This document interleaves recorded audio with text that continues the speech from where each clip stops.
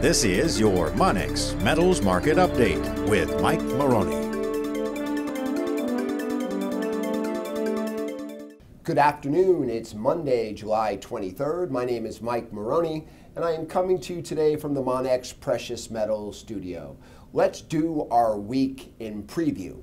Now, needless to say, it's always important to look at where we were in order to figure out potentially where we're headed. And last week we had very low price levels in both gold and silver, as silver hit a low of 1210 and gold, excuse me, gold hit a low of 1210 and silver hit a low of 1514.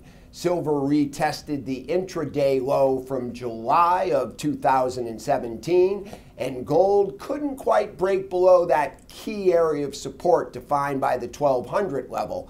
But both metals bounced back strongly as President Trump came out and talked about why the Fed should potentially slow down the process as far as rate hikes are concerned.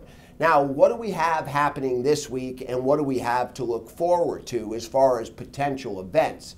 We have GDP numbers being released on Friday, and the estimation is somewhere between 4 to 5% growth. And many people believe if that number comes in at 4.5%, that the Fed may continue on its hawkish path as far as rate increases are concerned. And lo and behold, after this Friday, Tuesday, and Wednesday, the Fed will meet and will give us the answer to the question are they going to raise in August and will they continue to be hawkish as far as their statement is concerned?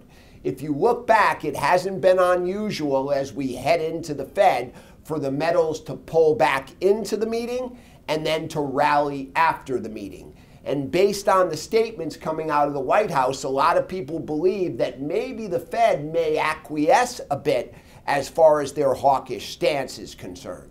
Obviously, the dollar trading at 95 and change last week was a little higher than President Trump would like to see.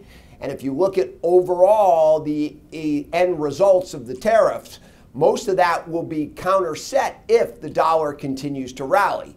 So obviously, the White House would like to see a weaker dollar and more exports. And that won't happen if the dollar continues to charge higher against all of the other currencies. So, this coming week on Friday, watch for that GDP number a big number may give us an opportunity on a push back to retest the lows in both gold and silver to buy in at what could be tremendous price levels.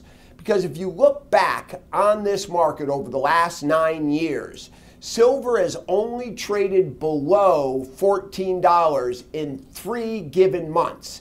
And over the course of those nine years, there have been only seven months where silver didn't trade to at least $16 intraday.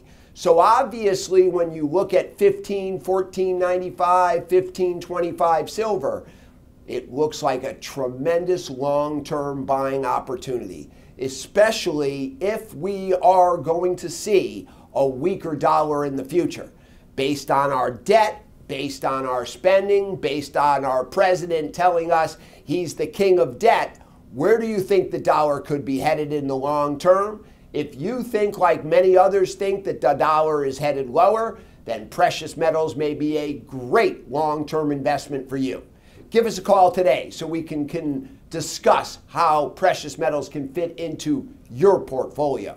Thank you.